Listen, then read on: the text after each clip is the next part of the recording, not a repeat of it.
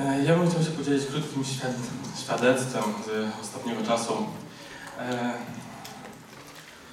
Od ponad roku prowadzę firmę. E, Jestem tym taksówkarzem i przez cały ten rok sukcesywnie siałem ponad więcej niż, niż wynosi tak, tak zwana dziesięcina. I przez cały rok nie umiałem zamknąć budżetu. Epicentrum te, tego systemu było to, że trzy tygodnie temu rozwaliłem auto. Dwa, dwa dni temu dostałem informację, że to, to auto jest zaklasyfikowane jako szkoda całkowita. Ale przez trzy tygodnie, jak siedzę w domu, wziąłem mój największy przełom finansowy, jaki kiedykolwiek miałem. Ja niczym się nie stresuję, niczym się nie boję. Ja mam wszystko. A bo wyczytałem w Biblii, że tam jest napisane Bóg zaopatruje. Skoro Bóg zaopatruje, to nie ma takiej możliwości, żeby mi czegokolwiek w życiu brakło. A potem jeszcze przeczytałem taki werset z Izajasza, że czemu trudzicie się tym, co przynosi srebro i złoto, a nie przynosi wam zaspokojenia? I tam było też napisane o tym, żeby pokładać ufność Bogu.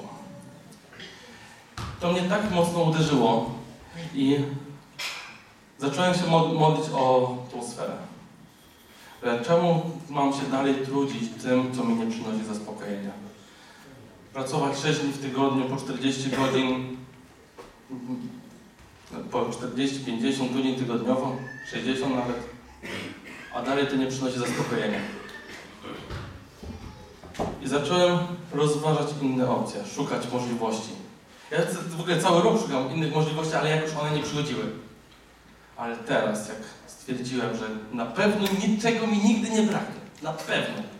I, i w ogóle cała moja dusza została, pod, poddała się temu, że na pewno niczego mi nie braknie.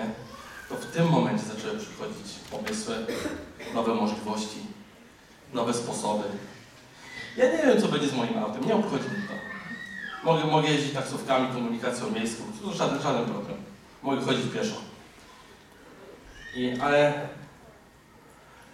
jedno, jedno wiem, że na przestrzeni najbliższego czasu na pewno będę zarabiał jeszcze więcej pieniędzy niż zarabiałem do teraz. I będę zarabiał jeszcze więcej, nawet nie pracując tyle czasu.